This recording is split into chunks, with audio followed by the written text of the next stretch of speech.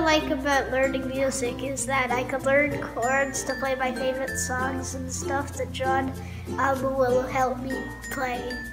I like to usually learn the notes and know what to play, and then when I get better at it, I know how to play it, and then it sounds really nice. My mom loves music. Usually my dad so gives me a thumbs up. There's so many reasons why music is important for kids um, to have in their lives. I think it's it's a very enriching experience to, to have music in, in anybody's life really. It doesn't necessarily have to be a kid, it could be in adults. It gives kids um, a discipline, a responsibility, a good goal to work towards, a healthy outlet for their emotions, and um, uh, it gives them a safe community and um, it, all the, you know, there's all the scientific reasons of how it helps your brain and helps you with other subjects and walks of life. Basically, like, it just, it makes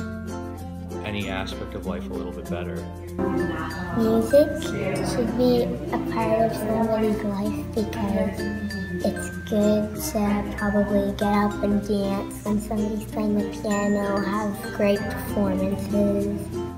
Well, because uh, this is a really hard question. I guess if I had to pick one word, I would say community. Makes them happy and excited.